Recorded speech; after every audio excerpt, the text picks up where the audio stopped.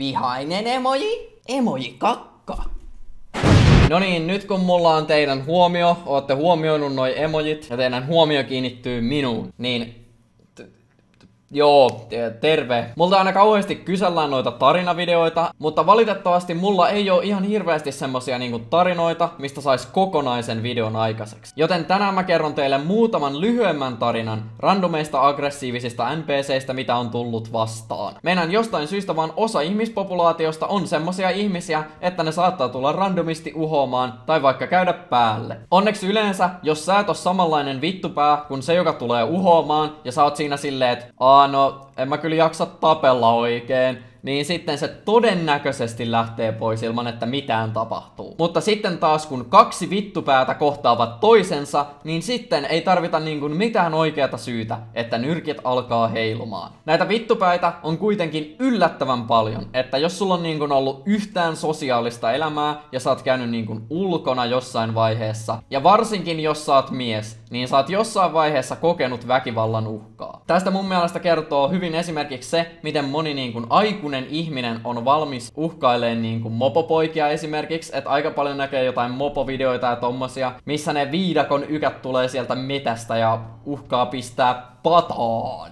Mutta tosiaan, tääkin tarina kertoo niistä ykistä ja mopopojista. Elikkä, Tähän ekaan tarinaan kuuluu meikäläinen, Arsi ja Jere. Ja tää tosiaan tapahtui Derpi-tuotantokaudella joskus yläasteella. Elikkä tosiaan Valkeakoskella on semmonen niin kuin ylikulkusilta City Marketin vieressä, joka vie siis sen Valkean kosken yli, minkä mukaan se paikka on nimetty. Ja tosiaan tää kyseinen ylikulkusilta, se on kävelytie, mutta siinä on ajaminen sallittu mopoilla. Siinä on semmonen kyltti, missä lukee sallittu mopoille. No, me sitten oltiin ajamassa tän sillan yli, silleen, että Jere meni siinä mun edellä, ja meikäläinen tuli siinä derpillä takana, ja mulla oli Arsi kyydissä. No, siinä sillalla oli sitten äijä, joka ensin se yritti lyödä Jere, ja sitten se yritti lyödä mua ja Arsia, ja täytyy sanoa, että sillä oli kyllä tosi tosi huono sihti, kun se ei osunut. Se ei käynyt edes lähellä, mut se yritti kuitenkin, ihan selvästi yritti kuitenkin. No, tää jäbä sitten, tiedättekö, lähti juoksemaan meidän perään. Ja meikäläinen tietysti sitten ajoi jonkun matkaa eteenpäin, ja sitten mä pysähdyin siihen tielle ja jäin venaan, että tuleeko tää äijä perässä.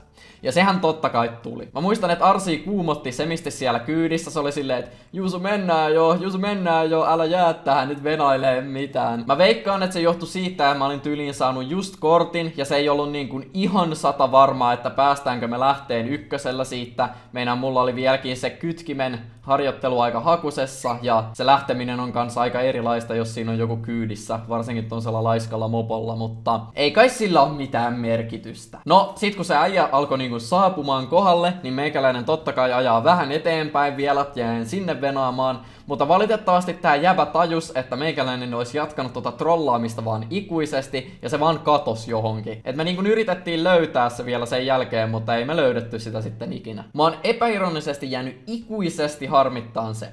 että tohon aikaan mulla oli niin kuin GoPro, mutta mulla oli siinä semmonen muistikortti, mikä randomisti korruptoi random klippejä. Niin kuin varsinkin jos kuvas liian pitkään, niin sitten hyvin todennäköisesti se koko klippi oli korruptoitunut, sitä ei pystynyt avaan enää. Mä olisin oikeesti voinut saada ton videolle. Mulla oli aina GoPro mukana, mä kuvasin aina, tai oisin niinku kuvannut, jos se SD-kortti olisi toiminut. Mutta ei, se, se oli hajalla ja sen takia tota ei ikinä saatu videolle. Koska jos se SD-kortti ei olisi ollut hajalla, niin mä oon aika varma, että mä olisin saanut ton jutun kuvattua. Miettikää monta näyttökertaa sillä olisi ollut. Se oli oikeasti väkivaltainen ykä. Ja mä en oikeasti niin ymmärrä, että miksi ihmeessä tää äijä oli niin vihanen meille, koska sillä niin tiellä sai ajaa ja ei me edes menty niin kovaa siinä. Et ylipäätänsä jos mä ajan jossain niin kuin missä ihmisiä kävelee, niin en mä mene kauhean kovaa, että pitää mennä sellaista polkupyörävauhtia ihan maksimissaan. Ja sitten kaiken lisäksi siinä on semmonen tosi jyrkkä ylämäki, ja meillä oli tosi laiskat mopot siihen aikaan, ja varsinkin niin kuin mulla, kun mulla oli vielä arsi kyydissä, niin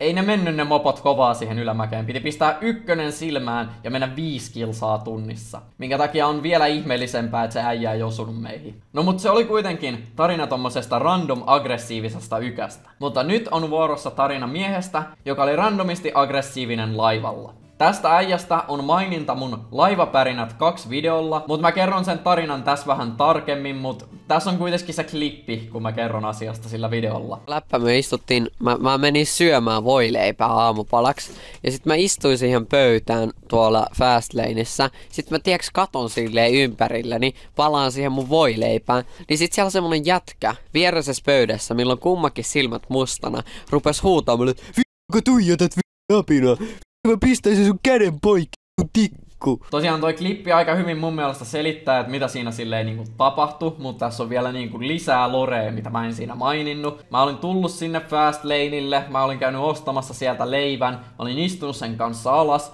mä niinku rupesin syömään sitä, ja tiedättekö te kattelin siinä niin vaan niinku ympärilleni. Niinku normaalit ihmiset tekee, tiedättekö te, jos te istutte, teillä ei ole mitään tekemistä, te safkaatte, niin te katsotte asioita, mitä teidän ympärillä on, te havainnoitte sitä ympäristöä, missä te olette. No, siinä oli sitten viereisessä pöydässä semmonen äijä, joka näytti siltä, että sillä on tosi paha kankkula menossa. Ja sen vieressä istui muija, jolla oli kummatkin silmät mustana. Eli varmasti viime yönä oli kaikki mennyt tosi hyvin ja putkeen. Mä sitten satuin vahingossa katsomaan tän äijän suuntaan, tai en nyt tiedä katoinko vahingossa, koska se sen muija näytti aika koomiselta parilta siellä, jos nyt ihan tosta puhutaan, että niiden naamoista pystyi lukemaan, mitä viime yönä on tapahtunut. Siinä oli semmonen interaktiivinen tarina. Tai en mä tiedä, ei se ole kyllä interaktiivinen, mutta ne niiden naamat kertoi mulle tarinan. No mut kuitenkin, mä katoin sen äijän suuntaan, ja sit se heitti noin videolla kuvailtut haukkumiset. Mut mä en tietenkään niinku sanonut asiaan mitään, ei mulla oikein ollut mitään kommentoitavaa. Se on niinku enemmän koomista, jos joku tulee tolleen vaan niinku huutamaan sulle. Se sitten onneksi niinku tajus lopettaa sen uhoamisen aika nopeasti, kun mä en niinku sanonut mitään ja katoin eri suuntaan. No, sitten vähän myöhemmin paikalle saapui niin kun, joku tämän ravintolan niistä niin kun, myyjistä tai työntekijöistä tai mikä se on tarjoilija, joku ravin, yleinen ravintolatyöntekijä. Ja se tosiaan tuli kertomaan tälle pariskunnalle, että Joo, siitä kahvista pitää maksaa, että sitä ei vaan saa ottaa ilmaiseksi sieltä automaatista. No, tästä tietysti syntyi aikamoinen riita, aikamoinen huutaminen, mutta valitettavasti mä en muista ihan, että miten se päättyi, että maksoiko ne sitten lopulta siitä kahvista vai heitettiinkö ne mereen? Okei, ne varmaan kyllä heitet. Mä oon aika varma, että ne ei maksanut ja ne heitettiin pihalle. Mutta mä en muista. Mä en halua syyttää tätä miestä siitä, että se on varastanut kahvia ilman, että mulla on todisteita. No mutta, se oli tarina tämmöisestä aggressiivisesta ykästä laivalla. Mutta me hypätään heitti totta kai seuraamaan tarinaan. Eli tää on kaikista näistä tarinoista uusin, ei tapahtunut mopoaikoina, ei tapahtunut silloin kun meitsi oli alaikäinen. Ja tosiaan mun yksi kaveri, ne oli niin kuin omien kavereittensa kesken vuokrannut Tampereelta Airbnbin tai jonkun hotellihuoneen, mun mielestä se oli kyllä Airbnb. Ja se oli tosiaan ryyppäämistarkoituksiin, että se on siinä Tampereen keskustassa, siitä voi lähteä sitten baareihin ja kaikkiin tommosiin yöllisiin meihemeihin. Ja totta kai meikäläinen ja yksi toinen mun kavereista, niin saapui sinne paikalle morottaan, että kuitenkin tää ja oli saapunut niin tänne meidän kaupunkiin, niin kyllä sitä nyt pitää käydä morottaa. No tosiaan jossain vaiheessa iltaa sitten me mentiin sinne jonnekin keskustaan ulos, ja mentiin tosiaan Kyttälän puistoon. Eli se on siis siinä keskustassa, tiedättekö se paikka, missä on ne siistit tehtaat ja se vesiputous ja silta, tai en mä, onko siinä vesiputous? Mulla on jotenkin muistikuva, että siinä on vesiputous, mutta en ole kyllä ihan varma. Mut kuitenkin siellä oli tosi paljon humalaista porukkaa, oli tyyliin perjantai tai lauantai, ja oltiin kuitenkin Tampereen keskustassa puistossa, niin se oli niin kuin oletettavaa. Mutta minä itse olin selvinpäin, koska mä olin tullut sinne autolla, ja mä olin sitten lupautunut kanssa heittämään ihmisiä sieltä Ryypen, Ryypeningeiltä himaan. No sinne puistoon sitten ilmestyi tämmönen jäbä, joka selvästi oli käynyt muutamaan otteeseen salilla. Ja se rupesi sitten systemaattisesti niin kuin, yrittää uhota kaikille äijille, jotka oli siellä. Se tuli tietysti niin kuin, munkin luokse uhoamaan ja niin kuin, kyselemään, että haluatko paini, haluatko tapella, tiedätkö? Sitten on silleen, ei, sit se on, no haluatko tapella, kyllä meidän pitäisi tapella, hä? Vittu, ootko jo unessa? Sitten mä olin silleen, että joo, että en mä kyllä oikein, että olisi aika epäreilu tappelu, että me kyllä painitaan ihan eri painoluokissa, että äijä mee oikeesti etsimään joku oman kokoisessa äijä täältä, jonka kanssa tapella. No tää jäbä sitten katos sinne jonnekin jatkamaan sen Street Fighter questia. Ja sitten sinne ilmestyy toinen jäbä, joka tuli kyseleen tämän edellisen jäbän perään. Että missähän tää katujen taistelija mahtaa liikkua. Sitten se selitti meille, että joo, että oikeesti tuolla äijällä niin kun silloin useampi pahoinpitelysyyte ja joo, se on ehdonalaisessa vankeudessa. Että se on vaan tosi aggressiivinen kännissä ja se on aina kännissä, mutta se on oikeesti tosi mukava äijä. Jep, kuulostaa tosi mukavalta. Mä haluaisin hengailla ton jätkän kanssa. Tuohon tarinaan liittyen vielä, se oli kaikista parasta.